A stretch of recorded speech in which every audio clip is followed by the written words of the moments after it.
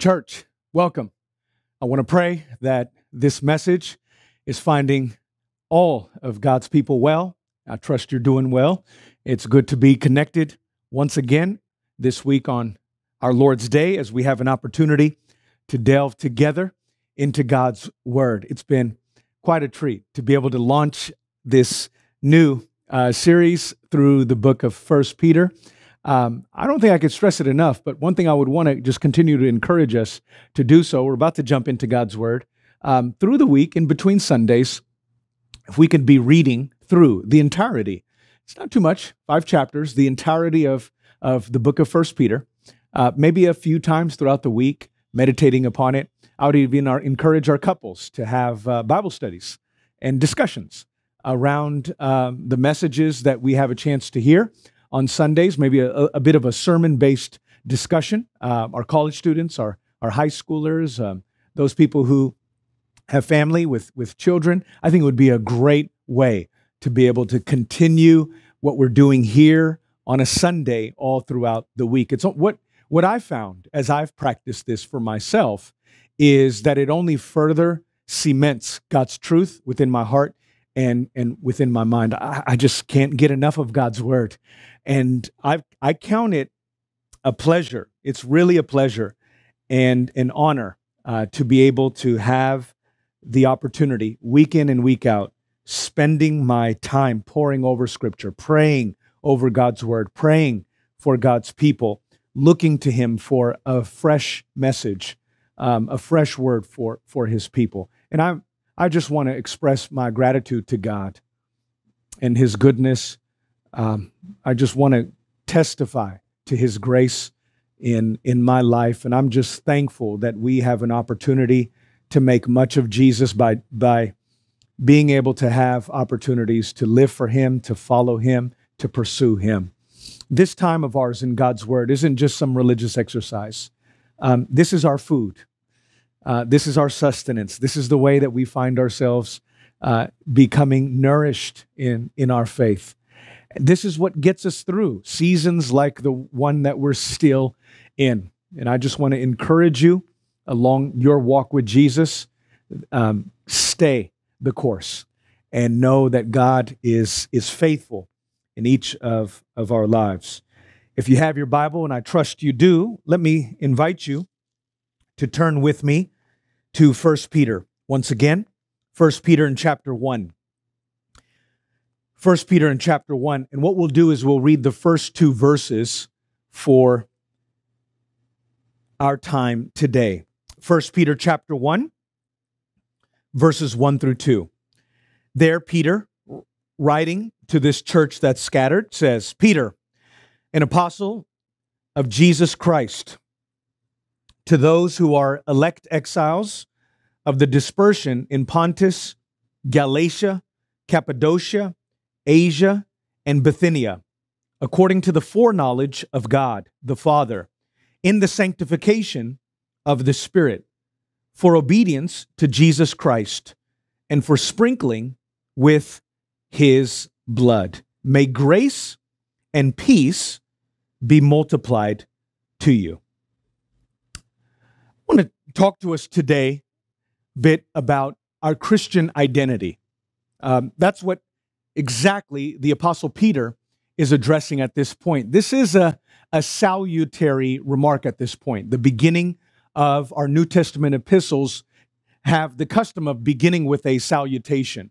And this is Peter giving his salutation to this church that's not located at one particular place, but is actually scattered across a number of places across a, a vast region in Asia Minor of their day. This would be modern day Turkey, if we were to try to pinpoint it. And Peter's addressing uh, these group of Christians. And what's significant about that is this part of the way that he addresses them indicates and communicates to us how we're supposed to view ourselves. The reason why Peter addresses his audience, his readership, his recipients, the way that he does is because he wants them to view themselves a certain way. This has to do with identity. How do you view yourself? What do you view yourself in relationship to? If you don't have a solid answer to that question, that's fine.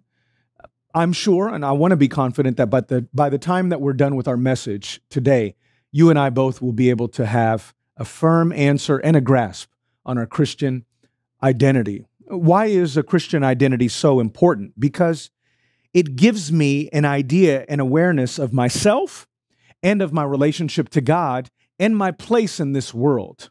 It lets me know uh, what meaning is all about.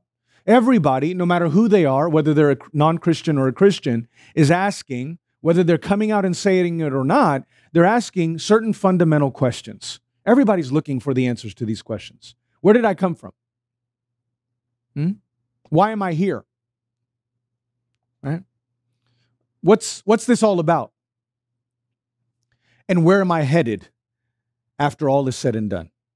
Why am, wh- where did I come from? Why am I here? What's this all about? And where are we headed after all of this is said and done? You see, th- these are questions that have to do with your way and my way of viewing the world and our place in it. Okay, that's important. Christians should be able to have answers to all of these questions.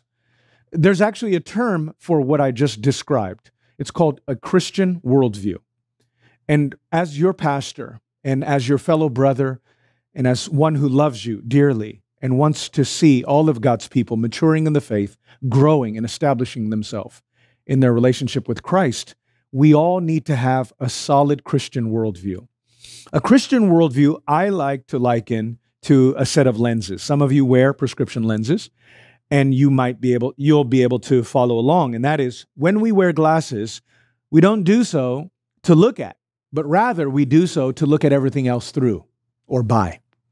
Similarly, a Christian worldview is a set of lenses that you intentionally put on, not to look at, we're not staring at our worldview, but we're able to now look at everything else in our world through and by.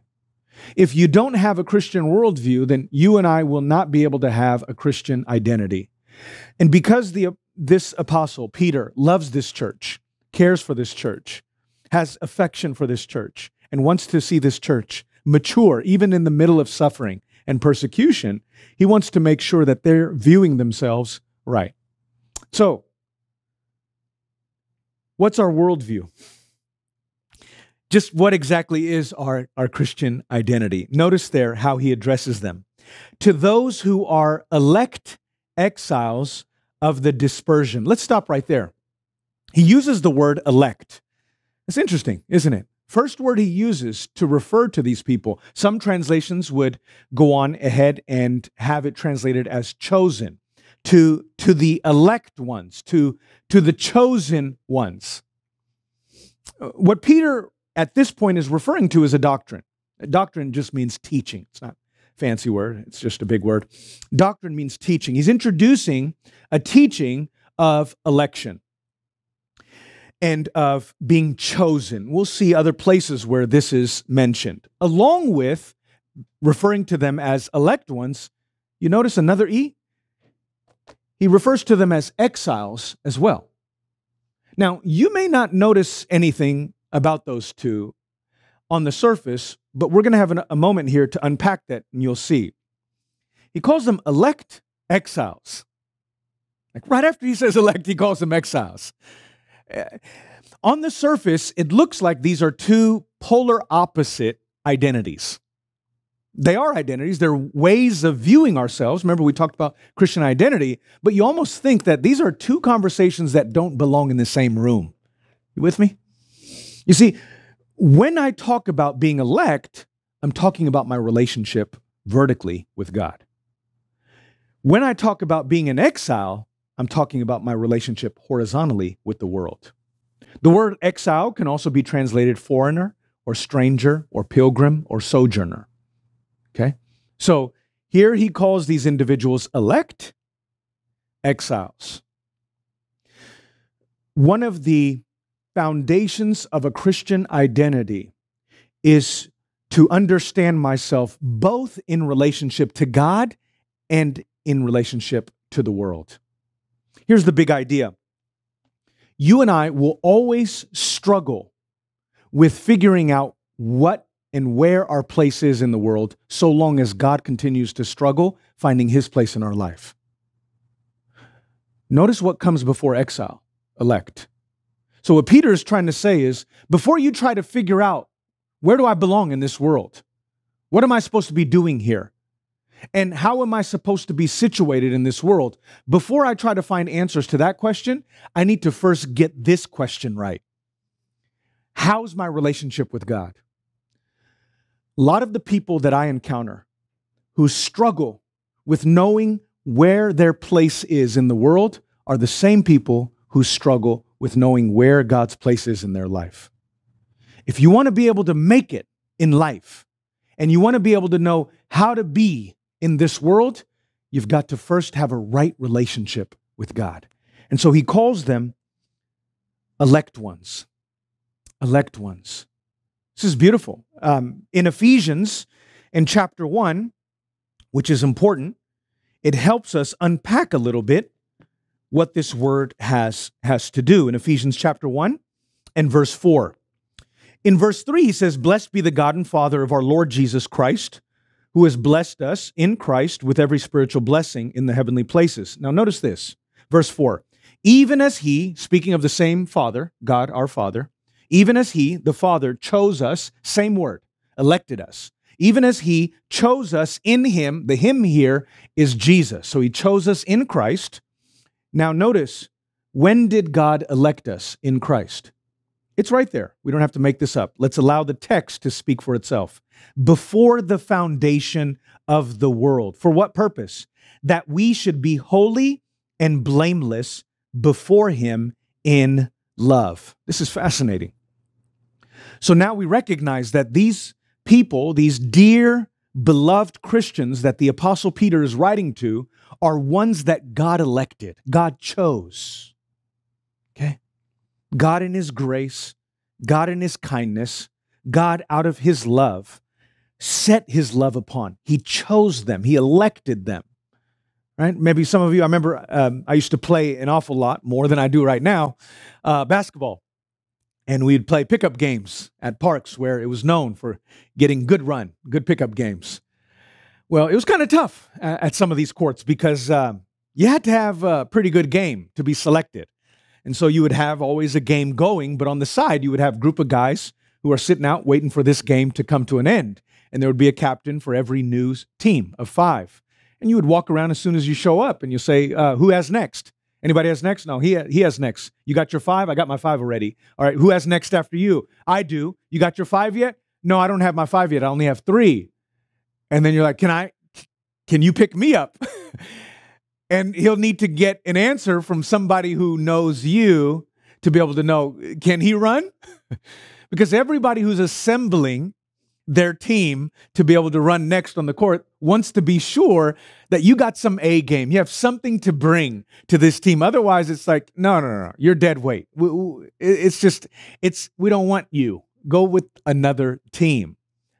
You see, a merit counts an awful lot in that context.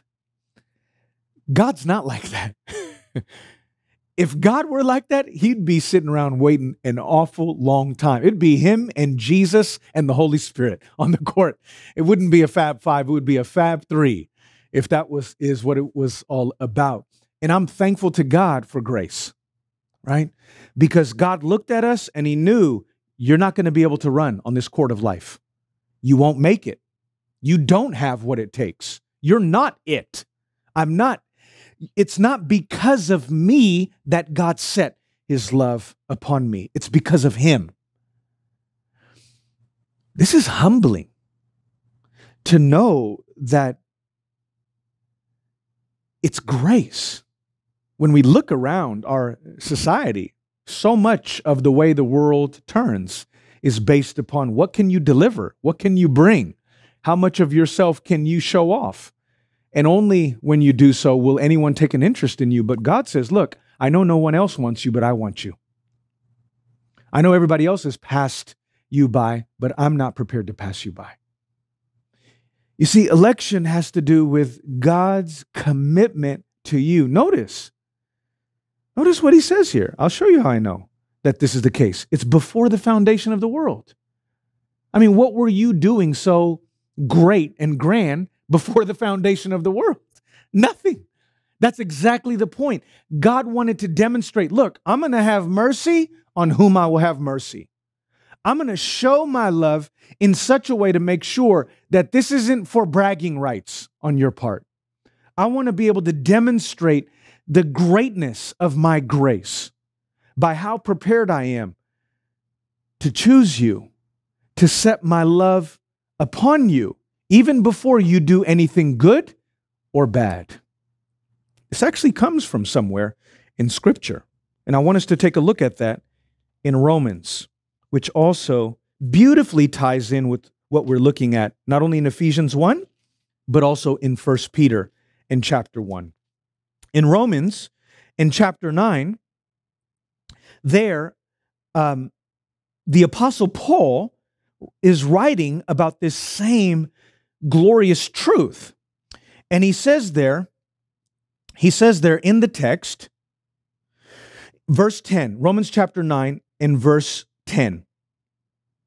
He says, And not only so, but also when Rebekah had conceived children by one man, our forefather Isaac, verse 11, though they were not yet born and had done nothing either good or bad, in order that God's purpose of what? Election, there's the word again, same, same word as we see there. We're talking about the same thing, might continue not because of works. You see, God wanted to make sure that when salvation came to this world and that people entered into a relationship with Him, this was going to be understood to be a relationship that was entered into not on the basis of works, but on the basis of grace, on the basis of God's doing, God's choosing. Why? So that God would get the glory. When you read your Bible carefully from cover to cover, Old Testament to the New Testament, one thing is going to be very clear to you and me, and that is God's about his glory. God's all about making his glory known, making his name known among the nations, and especially in the saving of a people for, for himself. You see, the, the world and the previous Neb, the previous me before Christ, would have looked upon this and, and would have been appalled. Why? Because those who are in the flesh cannot please God. Those who are in the flesh want to please themselves. My main aim is not want to, to want to give glory to God. My main aim in life and priority is to want to bring glory to myself, I'm afraid to say. And it took actual, it took God transforming my heart. It took God saving me from my mess. It took God transferring me from the kingdom of Satan to the kingdom of his dearly beloved son. It took God passing me from darkness to light to be able to even value what we're talking about right here. And here, the Apostle Paul goes on and points out in verse 11 that God's purpose of election was to continue. And it wasn't supposed to be because of works, but because of him who calls. And so she was told, the older will serve the younger. You remember Jacob and Esau? As it is written, Jacob I loved, but Esau I hated. What shall we say then? Is there injustice on God's part? By no means. For he says to Moses, I will have mercy on whom I have mercy, and I will have compassion on whom I have compassion. So then it depends not on human will, like I got me saved. I pulled myself up by my own spiritual bootstraps. I did this. I got me to where I am, right? I brought myself into heaven. No, no, no, no, no, no. Notice what he's saying here. So that it depends. God's purpose of election was established for this purpose, so that it would no longer depend in anyone's mind or thinking on human will or exertion, right? Become a Christian. No, but on God. What explains why you're a Christian today? Is what Paul is saying. Is it how bright you are? how much smarter and more clever you are to grasp the gospel than the next person? What explains why you treasure Jesus, love Jesus, are, are caught up with Jesus, value Jesus, and the next person doesn't? Is it, is it because you are, are more spiritual than the next person, you're less sinful or less of a sinner than the next person? And Paul says, no. It has nothing to do with anything. Stop looking to yourself, is what Paul is saying. Stop looking to myself. Look to God. The answer that explains why you and I are alive today if you belong to Jesus. You're alive, you're not dead. Have you realized that? So many of us treat our Christianity like, I just turned over a leaf. That's it. I used to be Republican, I'm now Democrat. I used to be Democrat, I'm now Republican. I used to have this view, I now have that view. I just, I used to work here, now I work here. It's like, no. We, my fear is that when we don't appreciate God's role in our salvation, God's place in us becoming Christians at all, there's no room for gratitude. There's no room for, for a thankful heart. There's no room for awe. There's no room for amazement and wonder. I mean, why would I be so amazed by me just making a decision? I mean, after all, all I, all I did was walk down an aisle. All I did was raise my hand when the preacher told me to raise my hand. All I did was sign a card. I mean, what's so amazing about that? Exactly. Which is why we have so much decisionism going on in our world today. So many people who the only thing they got going to their Christian name is a youth camp that they went to 30 years ago, a card that they signed, a Bible that they got from a counselor 20 years ago, but there's no life in them. They're still dead. They may have a Christian tattoo, they may have a verse somewhere on their body, they may loosely associate with the faith, but when God sees them, they're dead, spiritually speaking. God wants more. God wants more than just some loose outward association. That's cultural Christianity. God wants authentic Christianity. And Paul says here in Romans 9 that this election depends not on human will or exertion, but on God who has mercy. For the scripture says to Pharaoh, For this very purpose I have raised you up, that I might show my power in you, and that my name might be proclaimed in all the earth. You remember? God's agenda is his glory, it's his name. His name is his glory. And he says there, so then he has mercy on whomever he wills, and he hardens whomever he wills. You see, we, we look at something like this and we say, you know, that's just the apostles, though. Jesus never talked in this way. Well, I wouldn't be too sure about that. Um, John chapter 6, last reference before we go back to First Peter. In John chapter 6, Jesus speaking, referring to himself as the bread of life, says there in John chapter 6 and verse 36, beginning in verse 35, Jesus said to them, He's speaking to his audience, these Pharisees, these religious leaders, his disciples by, he says to them, I am the bread of life. Whoever comes to me shall not hunger, and whoever believes in me shall never thirst. Isn't that good news? Hallelujah. But I said to you that you have seen me, and you do not believe. Verse 37 All that the Father gives me will come to me.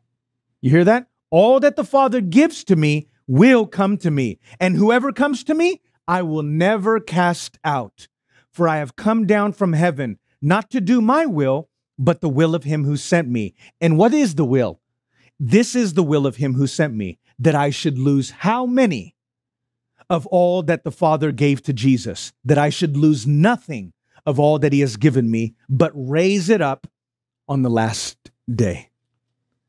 You see, friends, this election is not something to fight. This isn't something, no, no, no. You know why Peter is sharing this with these young Christians who are scattered, experiencing persecution and suffering is because no one has chosen them in this world.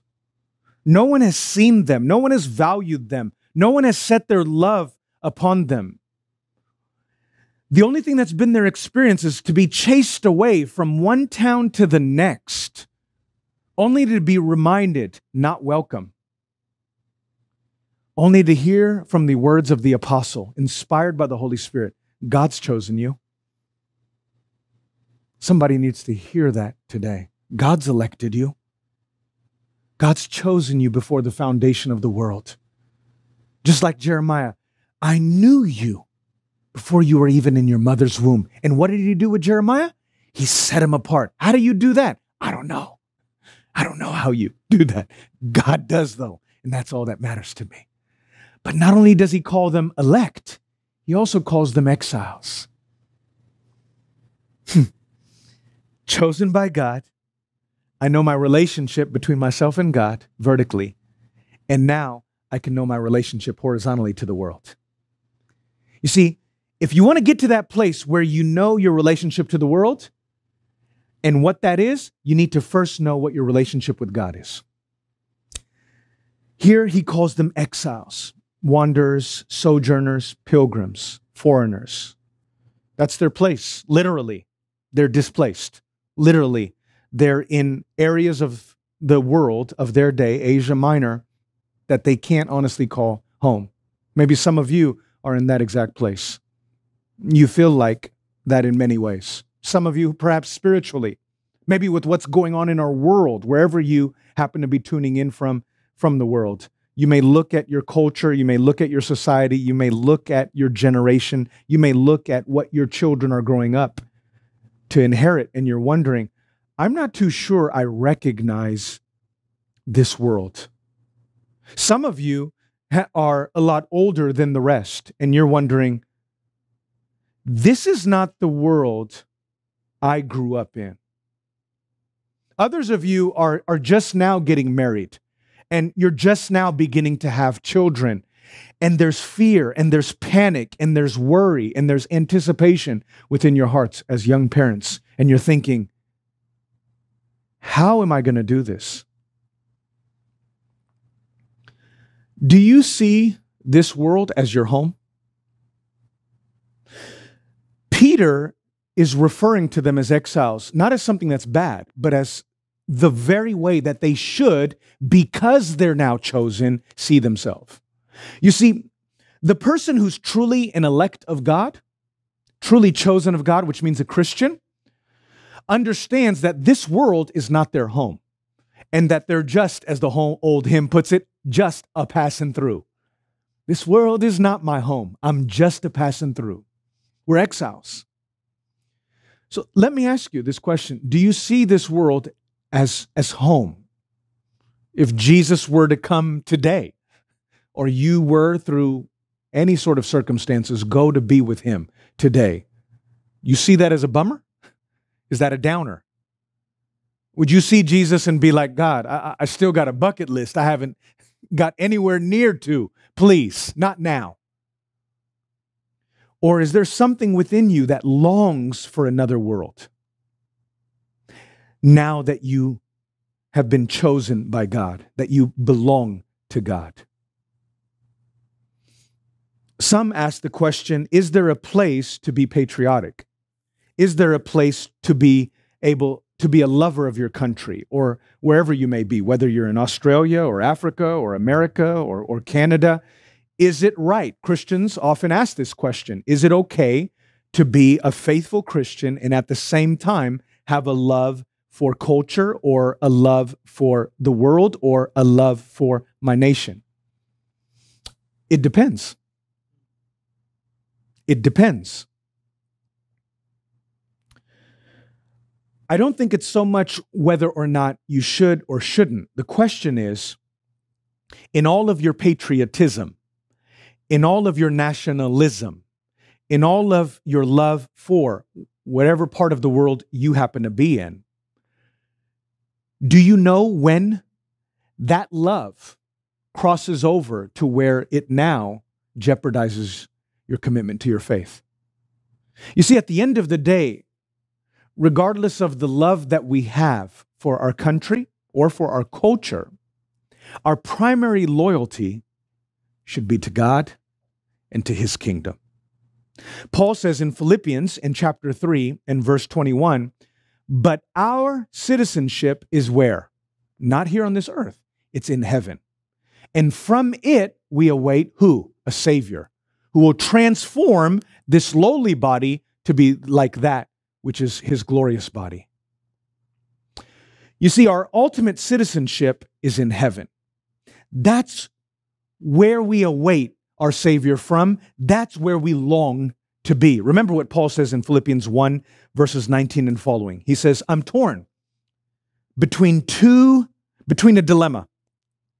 Having a desire to, to be to depart and to be with Christ, which is what? Far better. He calls that better.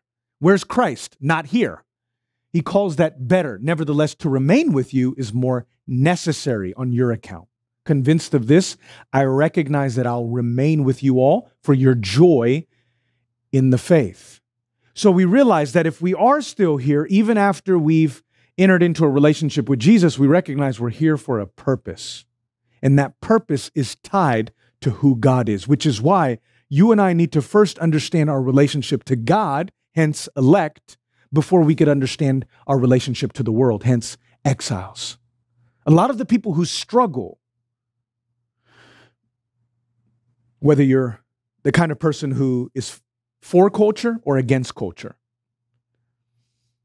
are the kind of people who haven't started where they should have begun. And Peter, writing to this young these young Christians, includes both elect and exile to help them to be able to understand their faith in culture, their faith in their country, their faith wherever they may be. You see, you see, because there's no guarantees for us here on this earth. You may love it right now, but any number of events could transpire in one decade, one generation, that, that could make it so such that the world that you now love will not be the world that you thought would be. What do you do then? Peter knew this to be the case with them and the world of their day and how it was on its way to crumbling. And he says, Look, I don't want you to set your hope in this place. I want you to set your hope on your God who chose you and set his, his love, his affection, his heart toward you. Because no matter whether you may be home or whether you may be away, because of your will or against your will, you know who you are. A lot of people's identity is tied to a, a time in history. Some people's identity is tied to a geography. Other people's identity is tied to certain groups of people. What happens when any one of those things are stripped from you? Do you still recognize yourself? You should be able to if, if your identity is tied and anchored where it belongs. Peter wants it to be. And so he calls them here and he says, To those who are elect exiles of the dispersion in Pontus, Galatia, Cappadocia, Asia, and Bithynia. These are a number of regions, a number of areas. And the dispersion, the same word where we get uh, diaspora from. Some of you have been dispersed. Some of you are where you're at not because you necessarily wish to. I know there are a lot of people who have moved to the Dallas Fort Worth area from other places of California and other parts of the country because of the economy. Uh, there's uh, others of you who have moved to different regions of Arizona or other places where um, it's because of the different season of your life that you're in. Um, some move to certain parts of the Dallas Fort Worth area because I used to be single. That part of the town worked for me. Now that I'm married and we're kind of thinking about having children, this part of the town works for us. There are any number of things that result in people's dispersion, like these individuals. And regardless of the location, Cappadocia, Asia, Bithynia, you name it, the point is this their faith got them where they were.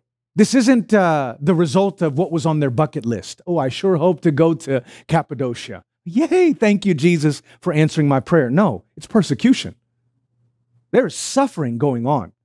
They're standing up for Jesus and not backing down. And guess what happened? They got kicked out, they got displaced.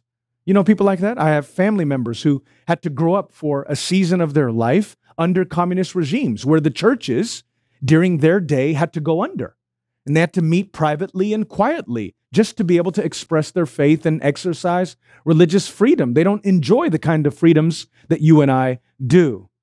And once the opportunity arose for them to be able to leave their land when things weren't getting any better, but only worse, they did so. And they came to places like America.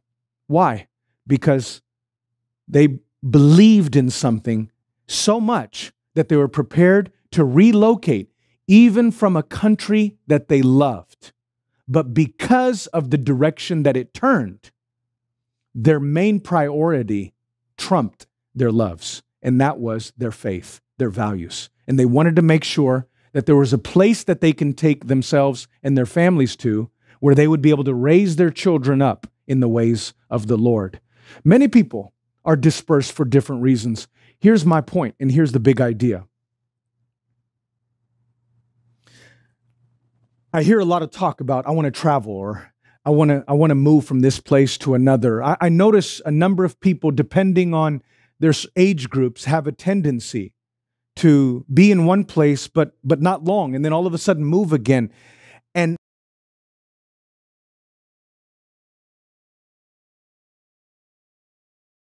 see to stay put.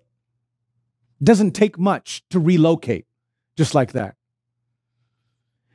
And i'm not too sure it always has to do with the fact that god's calling me that i have a burden from heaven that it's his kingdom that I'm trying to put first in my life. And as a result of that, that's why I need to go to where I feel like I'm moving. No, it has more to do with me and what I want to get out of my life and what I see as a benefit over there. That, that's not what we have going on here in this passage.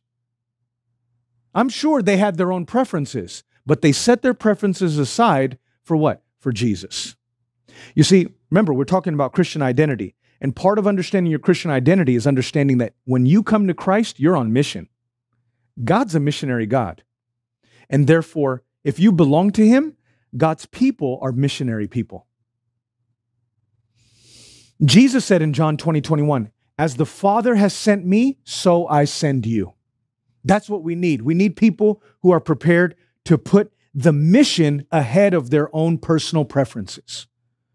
The reason why we're not getting the gospel to where it needs to get and we're not penetrating and reaching areas that we need to be reaching is because everybody is focusing. So many give far more attention to what they want out of life than asking the question God, where do you want me? Where can I plant myself? Where can I best flourish? Where can I be a faithful witness to you? Where can I be the brightest light? That's the question we need to be asking. And guess where it got th- these people? Cappadocia, Bithynia, Asia, Galatia. Why? Because of the mission. Question Where are you right now? Location wise, where are you? And how'd you get there? Is it the gospel? Is it God's mission? Where are you working? What are you involved in? Where are you prepared to move? Where are you thinking about moving? And what's driving that? What's motivating that? Is it the mission? Right? I'll get sometimes college students who come to me and says, "Oh, I'll be gone in a month, pastor." Like, "Really? Where?" "Well, I'm going to school." "Really? Where?" "Oh, it's about it's miles and miles away. It's across the country." My goodness. When is this going to happen again? In about a month. I'm excited. Have you prayed about it? Have you thought through it? Is it God's will? Because if it is, I want to praise God together with you. Is there a church you found? Is have you looked equally into how you can flourish spiritually there? Not just what sort of degree you can obtain there. You see, as Christians, remember the worldview I talked about. We have a lens and we have an identity, and we're supposed to see not only ourselves, but our relationship to the world through that lens. And Peter wanted to make sure that no matter how many things were outside of both his and their control, that if he could, he would have done something about, he wanted to focus on what he can still do something about, and that is encourage their identity in Christ. And he calls them exiles of this dispersion. He says, verse 2, it's according to the foreknowledge of God the Father. Same thing, this being chosen, this being elected before the foundations of the world, where God the Father gave me to the Son and where I have the hope of being raised one day is according to the foreknowledge of God. That word, the foreknowledge of God, has to do with the forelove of God. God set his love toward me well before I ever came into the picture in time. This isn't God seeing me from afar. No, no, no. This is God setting his heart, his affection, his love toward you and toward me. And he says there, it's all according to the foreknowledge of God the Father. I want you to see something. I want you to see the Trinity all here. The foreknowledge of God the Father in the sanctification of what? The Holy Spirit for obedience to who? Jesus Christ. Father, Spirit, Jesus Christ. They say it takes a village to raise a child. It takes the Trinity to save a child, right? It took the whole Trinity, the Father from eternity past, planned your salvation. Ephesians 1 4. The Son in time accomplished your salvation.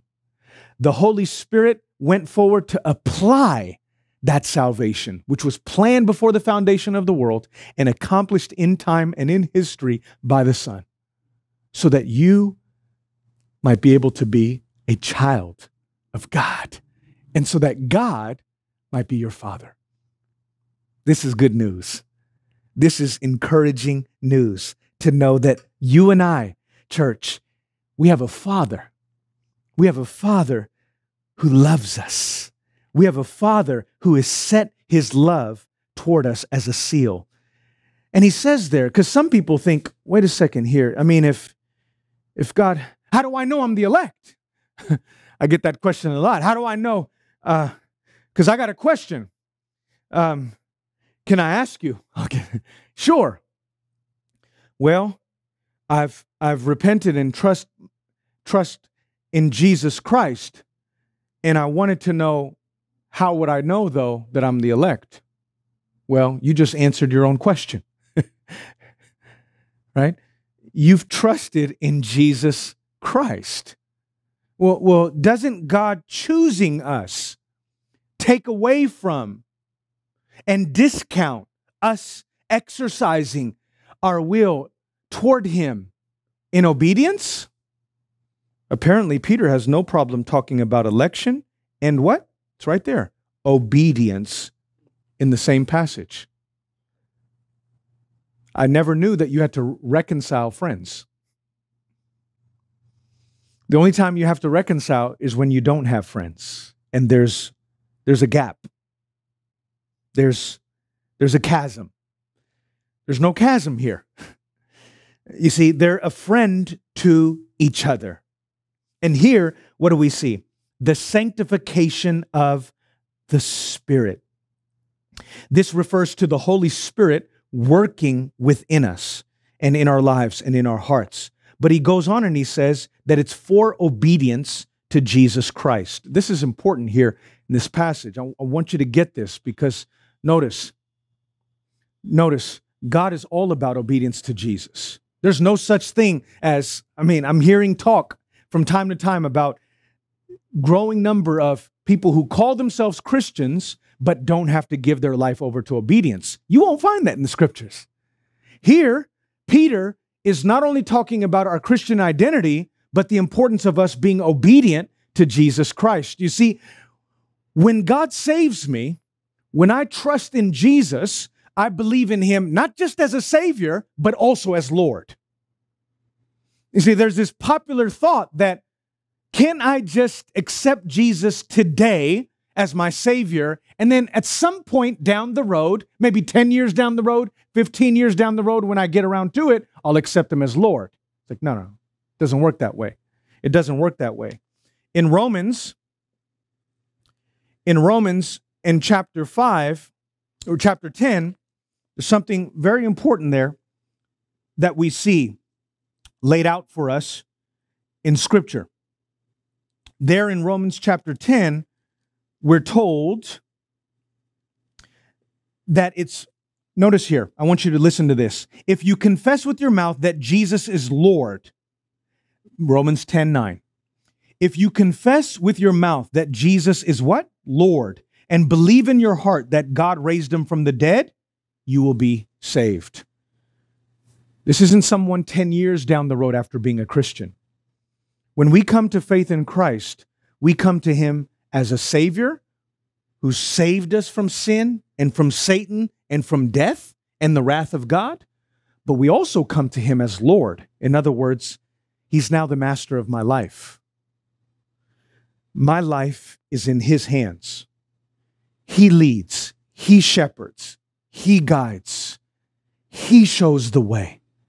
I don't call the shots, he does. I'm joined to him. And apart from him, I can't bear any any fruit. He's Lord. And here Peter is saying that we have been called to what? For obedience to Jesus Christ and for sprinkling with his blood. This is beautiful. Peter's drawing back upon the Old Testament in Exodus 24 for a reason, where we see the sprinkling of blood along with the obedience together. This is going to encourage somebody's heart. Some of you are overwhelmed with the fact that you look at yourself, you look at your spiritual life, you view yourself, and then you view yourself in relationship to God, and you're thinking, I just feel like a sad case. Honestly, I feel dirty. I can't shake my past, whether that's my recent past or my distant past. I just feel so dirty. You know what you know what Peter says here, inspired by the Holy Spirit? Spring for sprinkling with his blood. You know what that means? Sprinkling, cleansing, purifying. When you come to Christ, not only does God accept you in his son, not only does God pay the penalty of your sins, not only does he remove your sins as far as the east is from the west, not only does he adopt you, not only does he regenerate you and change your heart from the inside out, guess what? He sprinkles you with his blood, he cleanses you. What that means is when God sees you, when your father looks at you, child of God, he sees you clean. Some of you have not seen yourself clean in a long time. I'm imagining that even as I speak these words, you, you, you're having a hard time receiving it because all you can do is focus upon the things you've said, the places you've thought, and the things you've done and you can't get past it. I'm here to tell you you can, but the only way you can get past it is through the blood of Jesus. Jesus' blood, friend, cleanses us from all sin. The Bible says if you confess your sins, God is faithful and he's just to forgive you of your sins and to cleanse you from all unrighteousness. Peter's looking at this church right here and he says, God chose you God set his heart upon you. God elected you. God foreknew you for what purpose? To cleanse you with his son's blood. You see, the blood of bulls and goats in the past used to have to be offered up again and again and again by the Old, Testament people of God. This was a practice that they had to do over and over and over again. And it never really solved anything because ultimately it pointed to something that was going to happen in the future. And that has to do with Jesus Christ. You see, the Bible says that Jesus' blood was shed once and for all. Once and for all. What the blood of bulls and goats was incapable of doing, Jesus' blood did once and for all. It's the precious blood, friend, which cleanses you and me. It cleanses our minds. It cleanses our hearts. It cleanses our consciences from anything filthy, from anything vile, from anything that robs us of being able to enjoy intimacy with God, fellowship with God, communion with God. And I don't want you to miss out on this. If the truth be told, there's a good number of you, whereas you're looking at yourself, it's been an awful long time since you've had the chance to walk with God in this sort of way. You see, the way we relate to God is not in and of ourselves, it's in and through Jesus Christ. And I want you to invite you back to the first things. Could it be that the reason why you're not enjoying a clean conscience between God and others is the fact that you're trying to relate to God and to others outside of Jesus, when the only way we can relate both to one another or to God is through Jesus?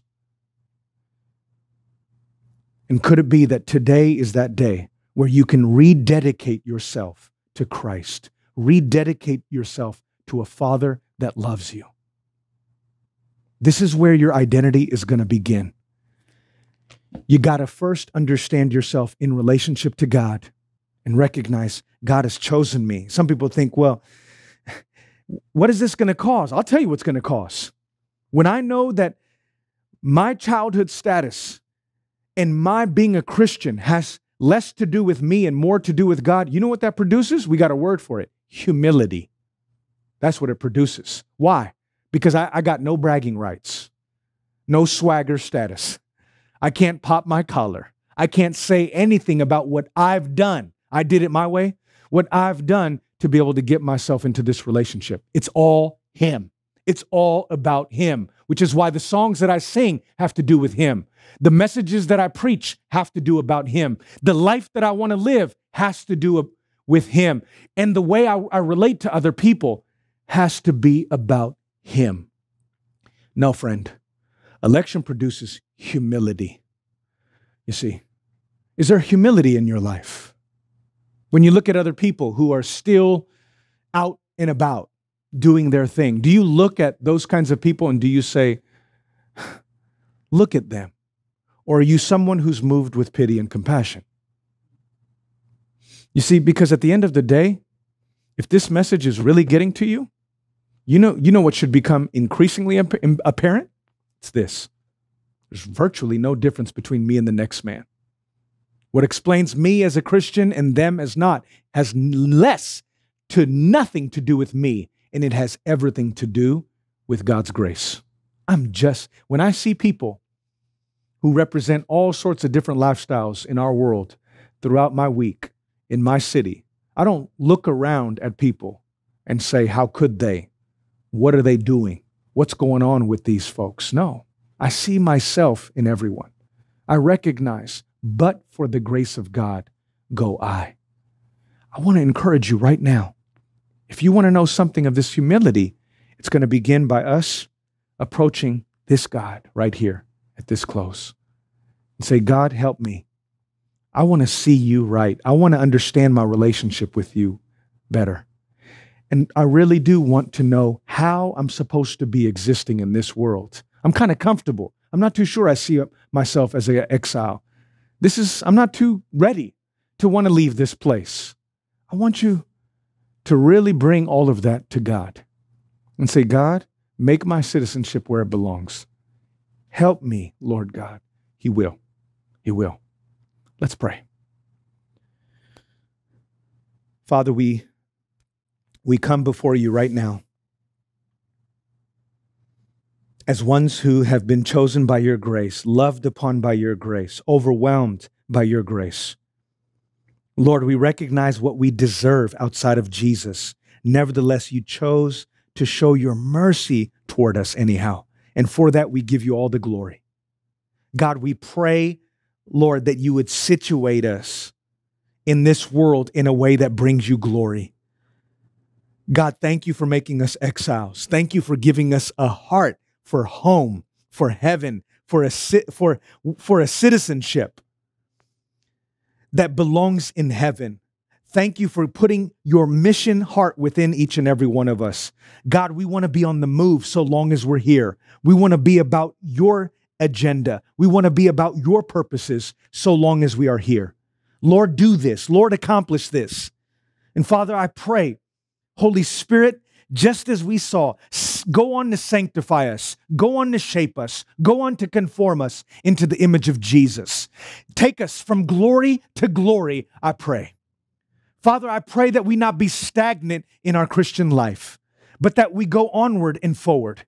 Help us, Lord God, as soldiers of Jesus Christ, to march forward triumphantly with your word in our hearts, with our witness in our mouth, Lord God May we be bold. May we be public. May we be unashamed for Jesus again. Lord, I thank you for your gospel. I thank you for the hope that you've set upon people's hearts. We thank you that we're here not alone. You've given us your presence, you've given us your people. And now, God, I pray that as we conclude this time of ours and have to live this out, be with us. Cleanse me, cleanse us. May the blood of Jesus be adequate, be sufficient, be enough for each and every one of your children. May no one have to any longer look at themselves as though they're filthy, as though they're dirty, as though they're basically who they always once were. But if anyone is in Christ, they're a new creation. Old things have passed away and the new has come. And the blood of Jesus, sprinkled, cleansed, has accomplished all of that. God, we thank you. We bless you. We give you all the glory. In Jesus' name, amen. Amen. God bless you.